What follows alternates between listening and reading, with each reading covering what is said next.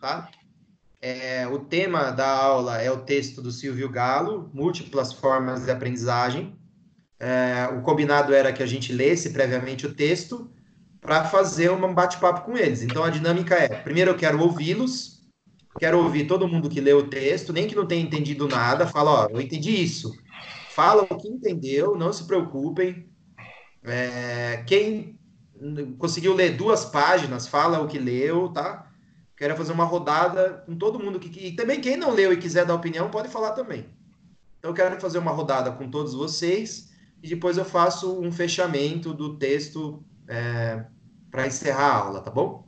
Então vamos lá. Quem quer falar primeiro?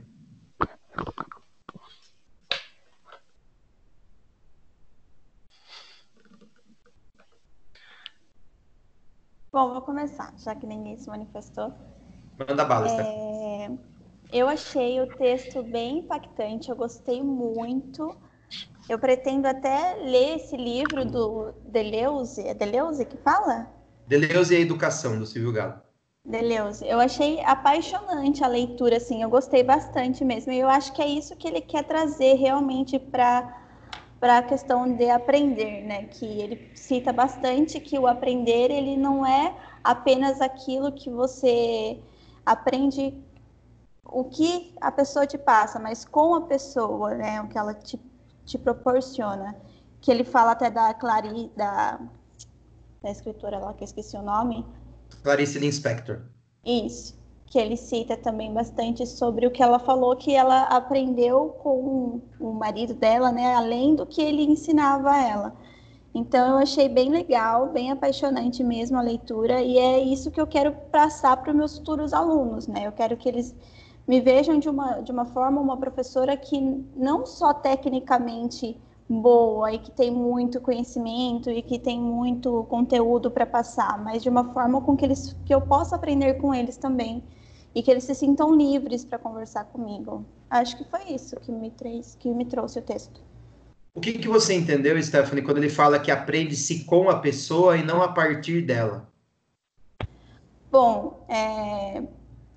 eu imaginei como se fosse atualmente um computador, por exemplo. Ali nele, na internet, a gente tem inúmeros conteúdos, tem muita coisa, mas é aquilo, né? É o, o, o que está escrito que você consegue aprender. Quando você está com uma pessoa, tudo que ela faz, o comportamento dela, o jeito que ela fala, é, as ações, as atitudes, também está ensinando a pessoa. Então, eu acredito que é isso, professor. Quando você vê a atitude da pessoa, a ação que ela tem, você aprende com ela também.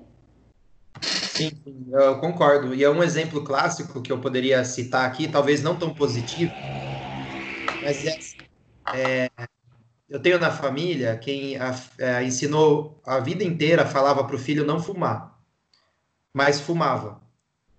Qual foi o resultado? Né? O filho sempre teve curiosidade em fumar. E assim que teve oportunidade, na infância ainda, bem jovem, ele procurou cigarro e acabou se viciando e fumou e virou fumante também. Então, é, o que a gente aprende com as pessoas vai muito além do que sai da boca delas, né? O exemplo, a postura, as decisões, o modo como ela se comporta, os pequenos detalhes, né? As expressões faciais, o modo como a pessoa se veste, tudo isso, né? É, nos ensina também, né? A gente aprende tudo isso com os professores também. Quem mais? Quem quer falar? Bem, professor, aqui o que eu achei um trecho, sinceridade, não consegui ler todo, né?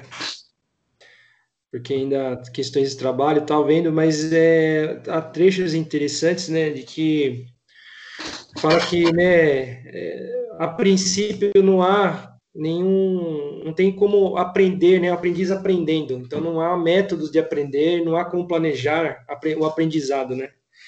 Então, acho que o, que o que desenvolve a gente nada mais que o dia a dia e a forma com que a gente vai trabalhar, é, seguindo ou não parâmetros já pré-estabelecidos, como, como a gente vem vendo em aula. O que, que a gente quer fazer?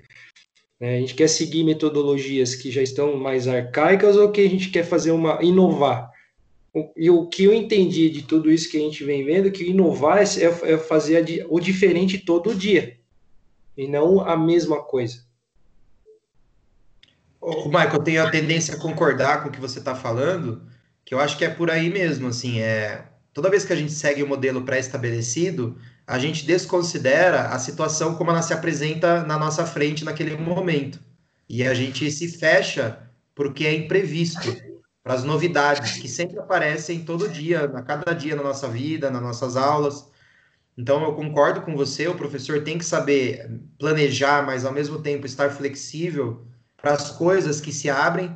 Por quê? Porque ele não controla a maneira como os alunos vão aprender, né? Cada um aprende de um jeito, cada um aprende uma coisa.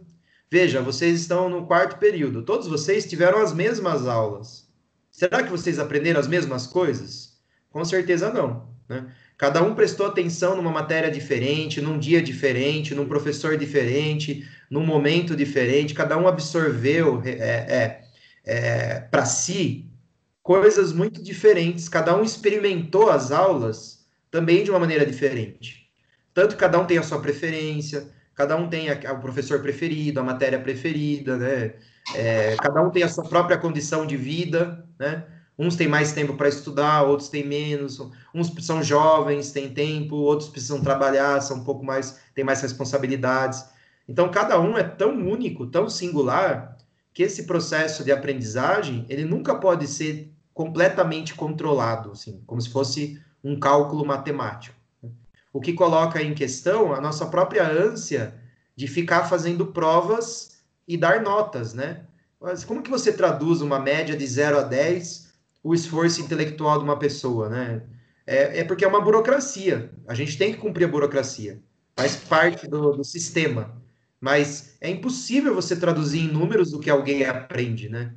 Sim. Porque isso é muito singular, é muito único, é muito de cada aluno, né?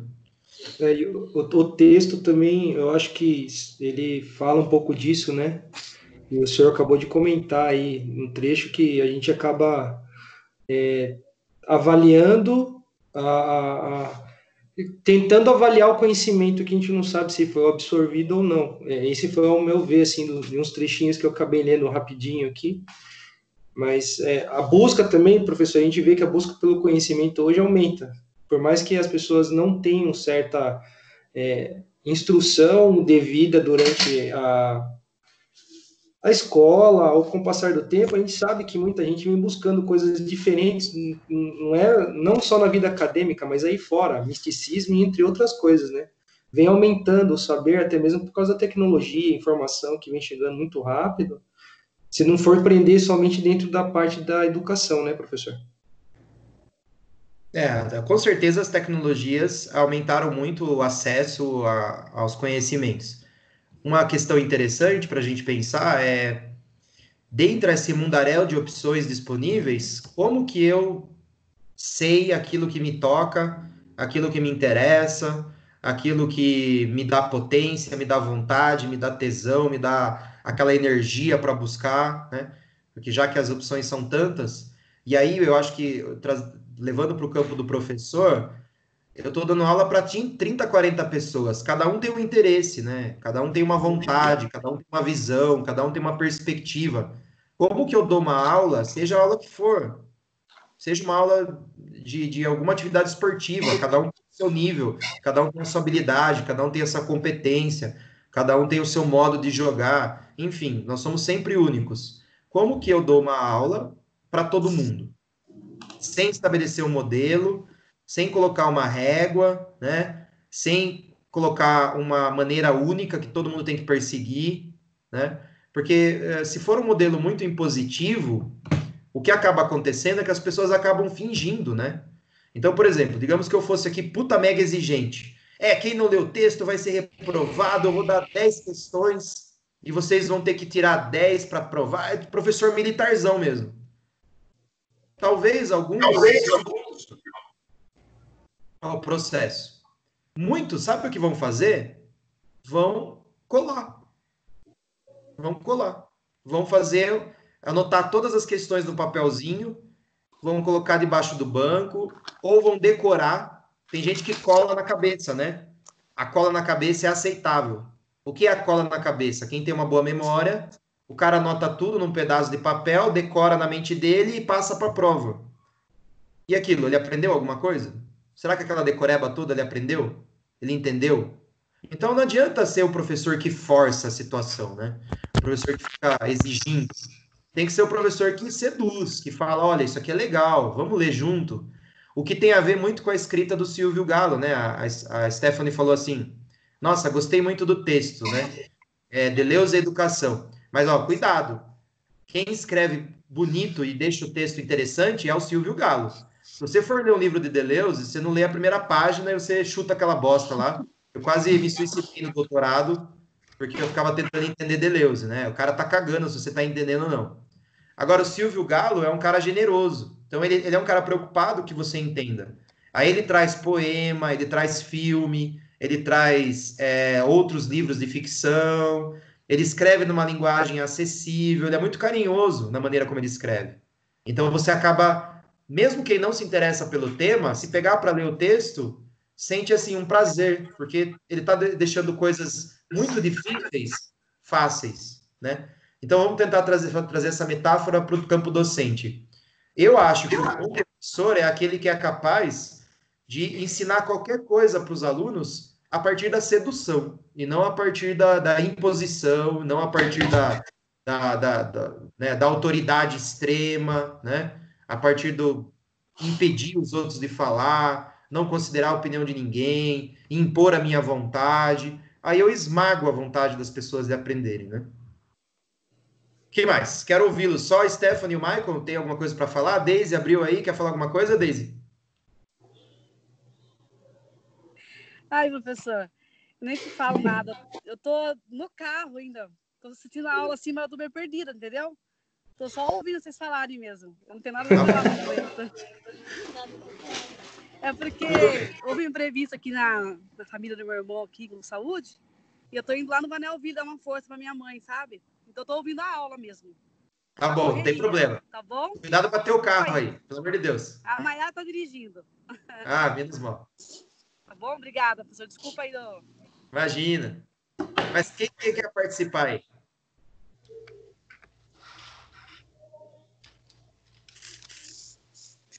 O Rubens.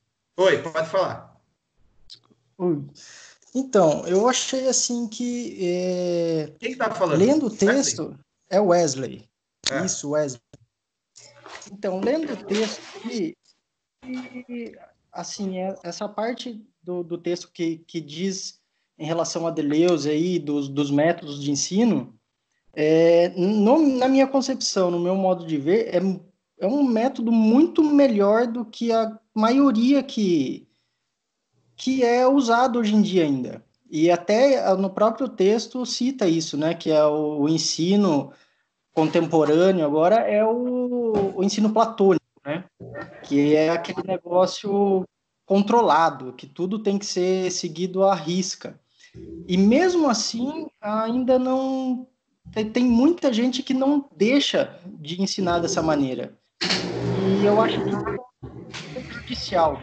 Uma coisa que me lembrou, é, eu lendo o, o texto aqui, essa, esse modelo de ensino me lembrou quando você passou aquela aula da. É, eu não me lembro o país que era, se era. Coreia. Acho que era. Oi? Da Coreia. Coreia. Não, não da Coreia, era o outro. Da Finlândia. Finlândia, esse, esse mesmo. E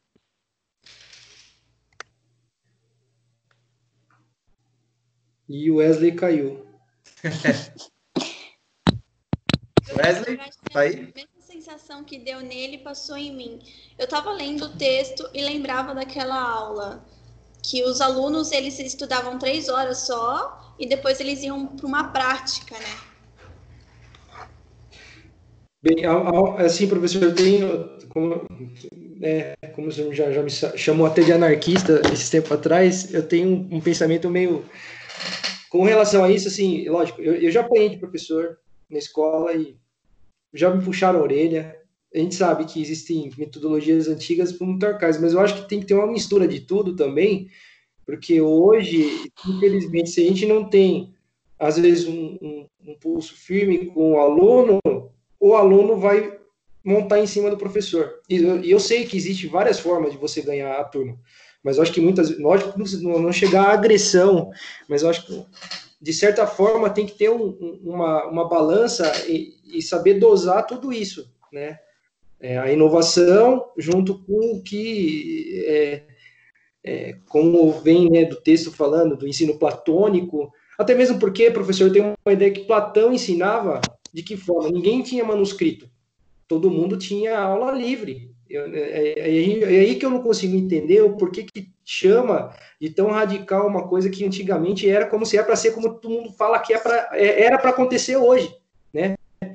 Exposição de ideias. Fale para mim o que você está vendo a respeito daquela árvore caindo aquela folha e tal. Eu entendo que filósofo ensinava dessa forma e não de forma rígida, de né, eu acho que até te, se tinha uma liberdade maior na questão do ensino do que veio mudando ou ele foi sendo descaracterizado desde aquela época, é, né, ou, ou, foram criando mística em cima de alguma coisa para virar o que é. Tudo bem que a gente, a gente sabe que certas de certas histórias, mas eram culturas que existiam naquela época para virar é, é, aquela pessoa de conhecimento das questões das relações sexuais e tal, mas era cultural, como o senhor já mesmo falou até em aula. Mas passando certos dilemas que tinham da educação, eu acho que era muito mais livre do que foi se transformando com o tempo. É, você colocou duas questões importantes, né? A primeira delas é a questão da, da, do, do equilibrar as coisas, não tem a menor dúvida, né? Quando eu estava fazendo doutorado e eu fui é, acompanhar as aulas de um professor lá em São Paulo, né? Porque ele era o único que adotava esse método inspirado em Deleuze, então eu fui acompanhar ele no doutorado. E vejam, não pense que dar aula influenciado pelo pensamento deleuziano é, é você deixar tudo livre para eles fazerem o que eles querem. Não é. Tem que chamar a atenção de aluno. Um começa a bater no outro, você não pode deixar, né? Então, teve um dia que a gente propôs uma roda de conversa para eles criarem umas ideias lá para aula. A gente ia fazer um flash, um flash mob, sabe o que é flash mob? Todo mundo do nada começa a dançar assim. Então, eles iam fazer a avaliação de final de semestre deles ia ser um flash mob no intervalo da escola. Então, colocamos grupos para debater qual música, como que ia ser essa surpresa e tal. Ok. E aí eu, Pedro, conversando sobre a aula, nós fomos buscar o Data Show para assistir alguns vídeos de flash mob para se inspirar. A escola tinha vários andares, assim, uma escola bem grande em São Paulo, do estado, mas assim, é outro nível de construção. Aí a gente não descemos dois lances de escada, já virou um caos a sala de aula, assim, eles apagaram a luz, começaram a se bater, jogar carteira, a gente teve que voltar correndo e falar, pô, o que está acontecendo aqui, sabe? Então não é assim, quando a gente fala que a gente tem que eh, buscar uma, uma pedagogia mais livre, e mais é, voltada para os interesses dos alunos, não é deixar fazer o que eles querem e não é deixar eles se destruírem. Não é deixar um agredir o outro, não é permitir que agrida professor, que agrida o amigo, que destrua a escola, né? Então, assim, é, é, com certeza é equilibrar essas coisas. Agora, assim, uma vez que eu tenho respeito da sala, essas coisas estão equilibradas, também não é massacrar, né? Não abrir para eles falarem nada, nunca considerar a opinião deles, sempre decidir tudo sozinho, impor os seus métodos, né, é, de maneira violenta, agressiva, pouco amorosa, pouco carinhosa. É, é, esse equilíbrio mesmo, então, concordando plenamente com o que você falou. Agora, só outra questão com relação a Platão, quando o Galo vai criticar, e aí eu passo para o Wesley, Wesley voltou, será? Voltou, tá aí. Voltei. Ah, eu vou concluir aqui para o raciocínio do que eu estava conversando com o Michael e já passo para você de novo, tá, Wesley? Certo. É, quando o Galo vai criticar a matriz platônica do pensamento, ele não está falando dos métodos como Platão ensinava. Ele está se referindo, a, até porque é, eu não, nunca estudei a fundo como era o dia a dia, o cotidiano na academia. Vocês sabem por que se chama academia, né? A primeira academia foi Platão quem criou. Hoje a gente vai na academia de musculação. Esse nome academia foi criado por Platão na sua escola, né? A primeira escola de filosofia que existiu foi a academia. A academia justamente de Platão. Então, me parece que Platão valorizava bastante a atividade física, os debates. Não era uma sala de aula sentadinho, né, aos moldes que a gente conhece hoje, todo mundo quieto. Não era. Então, a crítica não é a maneira como Platão ensinava. A crítica é porque Platão elencou a própria filosofia como uma verdade. Então, quando Platão criou o pensamento dele, ele falou assim, ó, qualquer pessoa que não concorde comigo é porque está influenciada pelo mundo sensível. Porque se você, ele não falava que era o meu pensamento, ele falava assim: esse é o pensamento perfeito. Eu descobri, eu não criei. Platão não diz eu criei uma. Olha, olha pessoal, que ideia legal que eu criei aqui. Não. Platão dizia: eu descobri o método para chegar na verdade. Então, quando Platão criou isso, ele criou uma escola filosófica de busca pela verdade, que está na matriz da escola tradicional de hoje, porque veja, quantos debates a gente participa durante o nosso processo de escolarização? Pouquíssimos, raros. Quantas vezes o professor faz um experimento onde ele não sabe o resultado? Vocês vão juntos pesquisar, professor e aluno? Não. O professor chega para ensinar já com a verdade pronta. O professor chega já, ó, é isso aqui que é para vocês saberem, tá? Pronto. Pá. Ah, o Otávio tá fazendo o doutorado dele agora, igual eu fiz o meu recentemente. Então, se, se, o, se o Otávio está fazendo um doutorado, significa que ele não tem todas as respostas. Ele não tem. Ele está pesquisando, ele está estudando, ele está buscando coisas novas. Quando que teve aí, a culpa não é do Otávio, a culpa não é minha. Nós somos formados assim, tá? Nós somos professores formados nessa lógica. A gente está tentando criar uma outra forma de dar aula, mas é muito difícil escapar. Mas quando que o Otávio, ou eu, ou o Eduardo Borges, ou qualquer outro professor, mesmo na, no ensino primário, quando que ele chegou assim, ó, pessoal, tô com um problema aqui, vamos juntos descobrir? Vamos pesquisar juntos? Não. O professor já chega com o resultado pronto. Ó, a fórmula de equação de segundo grau é isso aqui, ó, menos b mais ou menos raiz ao quadrado, sei lá, nem lembro mais b ao quadrado menos 4ac, né? Fórmula de Bhaskara, tá? Então o professor já chega com isso pronto. Ele não incentiva o pensamento, a curiosidade, a busca pelo conhecimento. Sabe aquele tesão que nós tínhamos enquanto crianças por descobrir coisas novas? Quando você descobre um livro, uma música, um instrumento, um cinema, um filme, e você quer saber mais sobre aquilo, sabe aquele tesão? A escola não estimula aquilo. A escola mata aquilo. Imagina, a escola era para ser o local que a gente ia, mais ia querer ir. Se a escola estimulasse o nosso pensamento, a gente ia ficar doido para ir para a escola. Meu Deus, eu preciso ir para a escola. Porque lá eu vou, eu vou aprender a tocar música, lá eu vou aprender filosofia, lá eu vou discutir problemas da humanidade com os meus professores, eu vou é, aprender um esporte novo, vou criar um esporte novo. Não, não funciona. Então, assim, não é criticar a forma como Platão dava aula, é criticar essa ideia de que existe uma verdade por trás das coisas e que a função da escola é somente passar a verdade. Tá? Wesley, continue o seu raciocínio, por favor. Então, é, na verdade, é, o que eu penso é basicamente isso que você falou. E a questão para mim era o porquê que é, ter esse ensino controlado, essa coisa que para mim, pelo menos, é chata, que fica que, que não abrange em nada, é, fica preso na, naquele, naquela mesma coisa, sempre, sempre, sempre, e sendo que já existem métodos é, que trabalham de uma outra maneira e não são e são assim pouquíssimo utilizados, pouquíssimo mesmo. É, daí que me veio a, a mente se o problema não seria a formação do professor ou o próprio professor não procurar se atualizar para passar outros métodos, é, para tratar a aula de uma maneira diferente, porque para mim acontece muito disso. Ah, o professor aprendeu desse jeito, ele não vai se empenhar para fazer de outra maneira e vai continuar sempre nesse mesmo ciclo. Então acaba que não muda. Né? E eu não sei o porquê que isso acontece exatamente, né? Olha, é, é a formação, sim, não tem a menor dúvida. É a formação. Uh, é um pouco do indivíduo também, né? Porque, assim, existem outras pessoas pensando outras coisas. Então, assim, precisa que o professor vá buscar outras coisas também. É um pouco isso também. Não sei se dá para jogar, criticar tanto, porque, sei lá, a esposa do Michael é professora, por exemplo, né? Pergunta para ele quantas horas aula ela dá por semana, se dá tempo dela chegar e ficar estudando e ficar é, é, fazendo cursos, né? Imagina, chega acabada, a ideia é tomar um banho e dormir, né? Então, é, também não sei se dá para ficar culpando o professor por ele não buscar ser diferente, né? Dado que ele é massacrado com a quantidade de aulas que ele tem que dar. E sobrando muito pouco tempo de vida para ele se dedicar a pensar outras coisas. Mas também não podemos esquecer, Wesley, que a escola ela foi criada não para a gente se descobrir enquanto ser humano. A escola não foi criada para isso. A escola foi criada para todo mundo aprender a trabalhar. É essa a questão.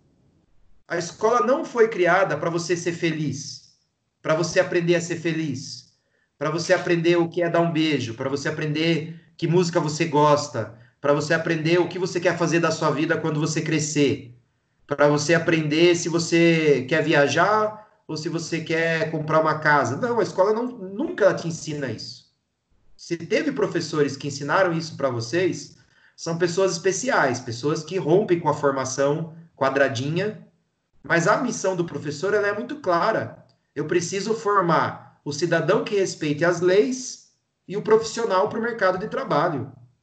A escola não pergunta para você o que te faz bem, o que você quer ser, que coisa que você gosta de fazer. Então é, é, é isso, pra, é, porque a escola foi criada, né? Acho que alguém ia falar, Mike, falar? É, mas vindo dessa premissa, professor, é, é aí que chega a questão. Não é não é querer bater ainda na mesma tecla. Mas o que mais me incomoda nessa questão, porque a gente fala mais isso aí, da a gente está mais dentro do, do, do, do, Descartes do que dentro de Platão, por exemplo, você entendeu? A gente tá, subdivide as coisas e deixa ela mais difícil para o entendimento, porque, como eu falei, eu venho também de uma outra formação acadêmica, onde a gente tinha aula de filosofia, e dentro da aula de filosofia, né, a gente entendia que a forma com que era trabalhado era livre. Eu entendo tudo que o senhor falou, explanou a respeito da questão da verdade. Por isso que eu venho falando que, para mim, eu acho mais que é uma forma de passar, passando o, o tempo, e esse tempo que passou, as pessoas foram é, ou desgastando essa imagem, criando uma teoria em cima, que ele, tudo bem que ele falava que é verdade, mas vamos, vamos assim dizer, todo mundo busca essa verdade. É, se, se, alguém faz um, um pós-doutorado, um doutorado, um mestrado, ele, ele quer provar alguma coisa, está buscando uma verdade até ela ser quebrada e alguém conseguir provar outra coisa, né? Uma outra verdade. Eu, eu acredito que tudo que a gente vive e vivencia é uma verdade momentânea. Até alguém quebrar essa, esse paradigma de verdade, criar uma, reestabelecer uma outra ideia, quebrando o que, o que foi passando. Então, eu acho que a gente fica muito preso hoje dentro de uma que, que para mim também eu vejo, como eu falei, a, a, questão da gente não ter uma certa liberdade para trabalhar com um professor, nada mais para mim é visão política, né? Como o senhor falou, a gente foi feito para trabalhar, então a, gente já é predestinado desde quando a gente entra no prezinho e hoje com a questão do pai e mãe trabalhando e ter que deixar a criança na escola, num berçário, eu acho que até, é, vamos assim, né, criando caos é, desde o berçário, aquela criança já vive presa dentro de um sistema que ela só vai sair depois dos 25 anos né, de idade. Então, essa é a minha visão, minha visão de tudo isso. Sim, sim, eu concordo. É, sobre a questão de Descartes e Platão, é, a maioria das leituras elas vão dizer que ambos são é, modernos, né? Filósofos que tem um pensamento é, pós-estruturalista, que a gente chama assim, ou da filosofia da diferença, é uma outra linhagem. Mas essa discussão, ela é menos importante também, assim, porque você pode fazer diversas leituras, né? As verdades convivem também. Então, você pode fazer uma leitura platônica de um jeito, você pode fazer uma outra leitura platônica, isso aí é, é, é até dentro da própria lógica da filosofia da diferença, Ninguém tem a verdade sobre o que é o platonismo, sobre o que é o cartesianismo, sobre o que é o pensamento de Deleuze. Tudo é interpretação. Tudo é, é, é uma leitura possível. E todas as leituras são válidas. Então é menos assim é questionar o que o Silvio Galo tirou do Platão, menos isso, isso é menos importante. E o mais importante é, a partir da leitura de Silvio Galo, de Platão e Deleuze, o que, que ele está nos fazendo pensar na sala de aula. E ele me faz pensar é justamente essa ideia da não exploração de outras possibilidades com os alunos. E aí entra na questão política, não política partidária, na questão política somente, da função social da escola. Qual é a função social da escola? A função social da escola é formar para o mercado de trabalho e formar o cidadão que respeite as leis. Então a gente é ensinado a respeitar a autoridade e a gente é ensinado a ser competente tecnicamente para desempenhar uma função. É para isso que ela serve. E, e, e tá errado completamente isso? Também não tá, porque a gente não pode viver num mundo sem leis, cada um faz o que quer, porque aí a gente corre o risco também de virar causa absoluto. Não se trata de condenar o poder produtivo, né? É, a, o que o poder produz. A questão da disciplina, da docilidade, ela é uma produção necessária. Por exemplo, o exemplo que eu sempre dou para vocês. Eu quero chegar no sinal vermelho e eu quero que os caras respeitem o sinal vermelho, porque senão vai morrer todo mundo, tá? Então não se trata de condenar isso. O que eu acho que o, o texto do, do Galo, pelo menos para mim, me faz pensar, porque eu não posso falar em nome dele também, é que a escola faz. A crítica é: a escola faz só isso. Ela faz só a disciplina e só o mercado de trabalho. A escola não faz nenhum momento. Um, não precisava ser. É, precisava ter o um equilíbrio. Lembra aquela ideia do equilíbrio que nós falamos lá há um pouco tempo atrás? Cadê o momento que a escola ensina a gente a viver? Cadê o momento que a escola ensina a gente a ser feliz? Cadê o momento que a escola ensina a gente a equilibrar as coisas da nossa vida? Por que, que as pessoas não conseguem se relacionar uma com as outras? Porque a escola não ensina. A escola ensina a obedecer. Ô, professor. Pode falar. Desculpa interrompê-lo, mas é, o que me preocupa nesse debate que nós estamos tendo hoje é que nós somos maduros o suficiente para compreender uma diferença de uma educação sistemática e a diferença de uma educação onde você pode abordar um tema de amor mesmo, né? Conforme o texto falou bastante. Então, eu queria, assim, não um método, porque eu sei que o assunto não se aborda em método, mas, assim, uma forma de poder é, trazer isso para dentro da sala de aula, porque eu vejo que os alunos, talvez, eles não estão preparados para um tipo de debate como esse, entendeu? Eles estão esperando de nós aquele conhecimento máximo, onde o professor, ele tem que nos dar, nos dar, nos dar, e eu não posso querer opinar sobre isso, sabe? Queria que pudesse quebrar esse paradigma entre os alunos para eles olharem para nós como sábios, não só conhecedores da palavras em si, mas aquele que sabe como praticar o que foi dito, entendeu? Sim, eu acho que é para isso que a gente está aqui. O que a gente vai discutir até o final do semestre é isso, o como, mas sem cair na ideia de criar um modelo. Porque, assim, uhum. Cada escola é uma escola, cada aula é uma aula, cada modalidade é uma modalidade. Então, digamos que você no futuro vai trabalhar com crianças é, numa associação para ensinar desenvolvimento motor. o Michael vai virar professor de escola do ensino fundamental 2. Aí o Aleph vai ensinar crossfit para crianças lá na, no box dele. Então, assim, cada realidade ela é única. Então, não dá para falar de, de modelos, não dá para falar em, em ferramentas. Cada professor vai ter que criar suas próprias ferramentas. Então, eu posso falar de mim, assim.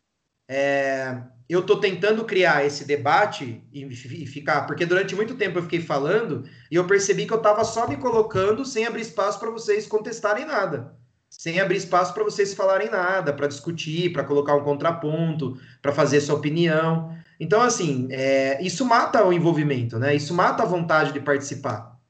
Tipo assim, eu fiquei imaginando, se eu fosse aluno, eu ia colocar lá o vídeo para ficar passando e eu ia jantar, eu ia tomar banho, sabe? Foda-se, fica lá. Né? Porque, meu, não tá me envolvendo. Não tá fazendo parte da minha vida. Não tá dizendo a respeito. Então, eu vou resistir. Então, resistir AD é muito fácil. E dá para resistir na sala também? Dá. Fica no celular, dorme. Ou tem aluno, tem aluno que assim, ó, tá olhando para você, tá quieto, não tá conversando, mas a cabeça dele tá, tá em outro lugar. Por quê? Porque aquela aula tá uma bosta. Então, eu fico tentando o tempo todo trazê-los, envolvê-los, dar exemplos, né? Falar de relacionamento sempre funciona, né? Porque aí todo mundo é, tem alguma opinião sobre isso. Então, são estratégias. Se você pegar a última aula, Stephanie, eu fiquei a última aula inteirinho dando dicas de como eu penso isso. Mas, assim, é eu pensando, não é impor uma verdade. É abrir para o debate para que a gente pense juntos também outras formas disso acontecer.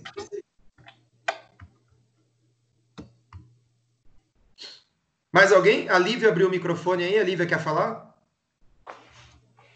É... Boa noite, professor, tudo bem? Boa noite, tudo bem e você? É, queria aproveitar esse gancho que você falou de que vem do professor. Eu acredito que vem sim do professor, é porque o meu ensino fundamental eu fiz em escola do estado. Era professores raiz, vamos assim dizer, sabe? É, é, dominadores, botavam regra, rígidos, e a gente via que os alunos estavam nem aí, não estavam na sala, estava só de corpo, a cabeça estava longe. A gente aprendia, mas aprendia mais para uma questão de, de pressão mesmo para conseguir passar do que para uma questão de que aquilo está me fazendo realmente um bem. E daí no meu no ensino médio eu passei para uma outra escola que era totalmente diferente, tinha as regras, mas os professores já tinham uma outra visão, vamos assim, já eram professores fora da casinha, sabe? E a gente percebe que, tipo, por mais que ele tente faz, dar liberdade para os alunos é, falarem em, em, aula, fazerem outros tipos de atividade, os alunos, eles, sabe, eles não vão te de, de, de, de respeitar da, a partir daquilo. Eles vão saber respeitar você, eles vão é, começar eles mesmos criar esse laço de que a Stephanie está falando, de não ver você apenas como um cara que está lá na frente mastigando um monte de coisa.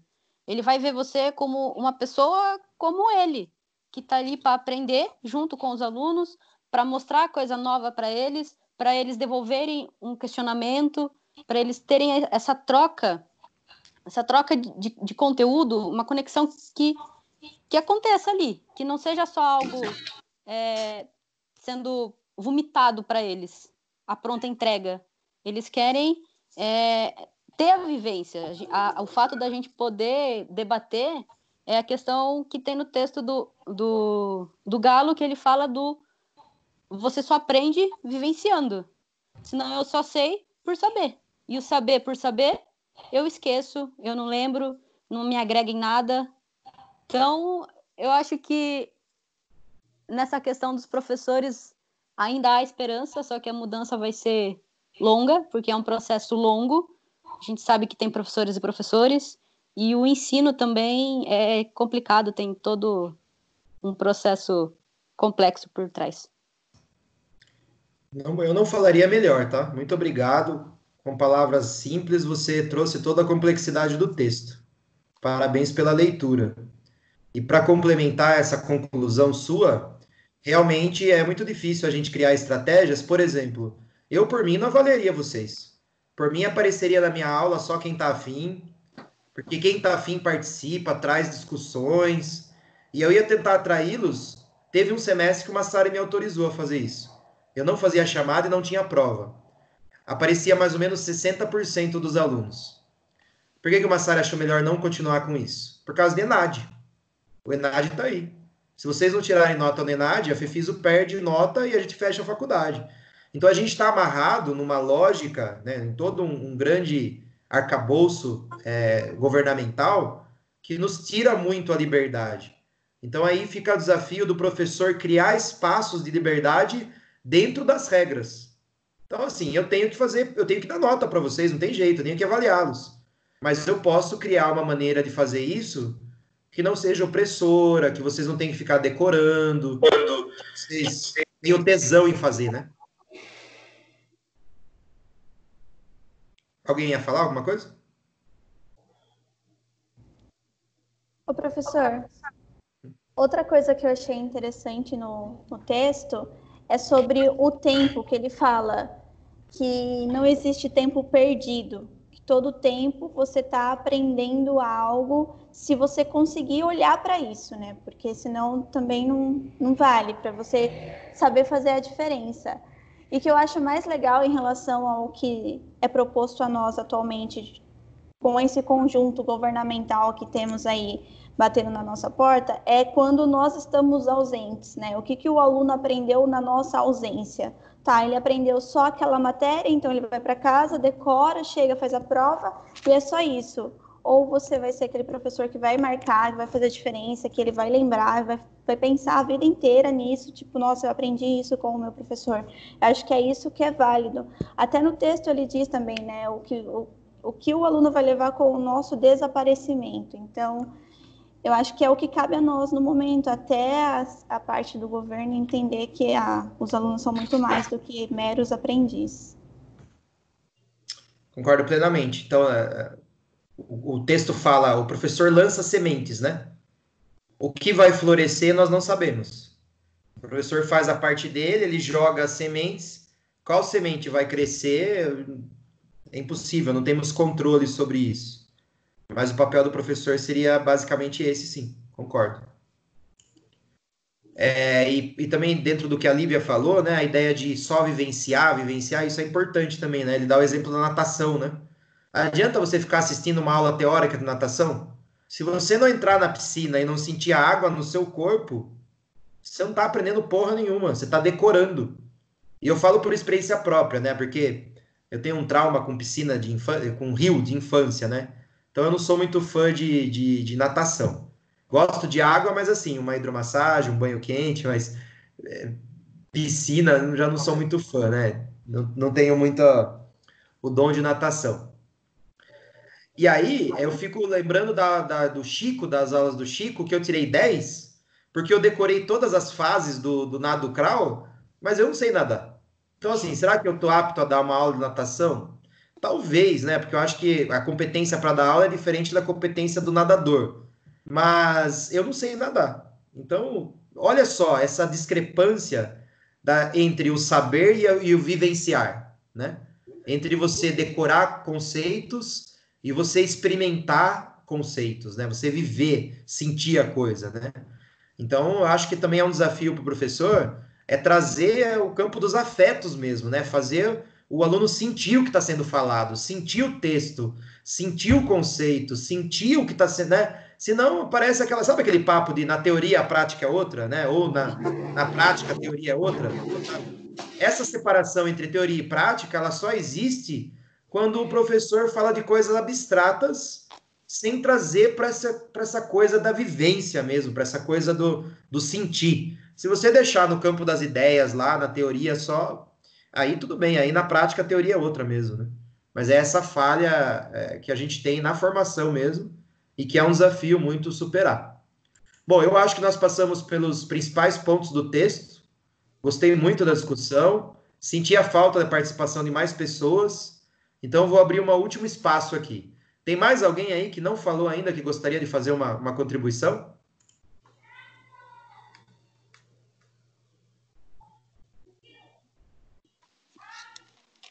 Silêncio absoluto.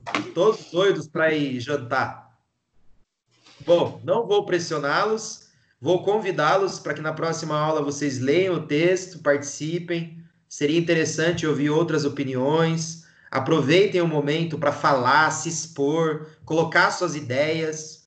Isso é importante vivenciar isso, sabe? Você ser capaz de falar para as outras pessoas. Você defender um argumento você contra-argumentar. Isso é importante. Quem é tímido, quem acha que não consegue, aproveita essas aulas, se exponha, né? Coloca lá o, o cavalo na chuva lá para tomar água, né? Vamos aprender vivenciando, tá bom? Por hoje é só. Agradeço muito a experiência, a noite. Um abraço para todos. Bom descanso. Tchau, tchau. Falou, professor. Abraço. Tchau, tchau. Mais. Tchau, professor. Obrigada pela oportunidade. Eu que agradeço. Tchau, tchau. Um abraço.